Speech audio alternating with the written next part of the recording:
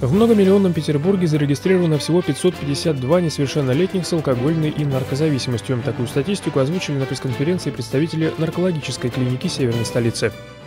Среди зарегистрированных постоянных пациентов наркологической больницы 7 человек. Пять из них имеют зависимость от психоактивных веществ, у двоих – алкоголизм. Остальные подростки попадали с наркологическим или алкогольным опьянением всего раз и находятся под профилактическим наблюдением. При этом медики отмечают резкое снижение первичной заболеваемости среди подростков за последние годы. Основной причиной в случае с психоактивными веществами стало закрытие большого числа нарколабораторий. Что касается алкоголя, те мероприятия, которые были введены, а именно ограничение продаж алкоголя и ужесточение определенных санкций. С 2010 года снизилась первичная заболеваемость у нас в 2,3 раза.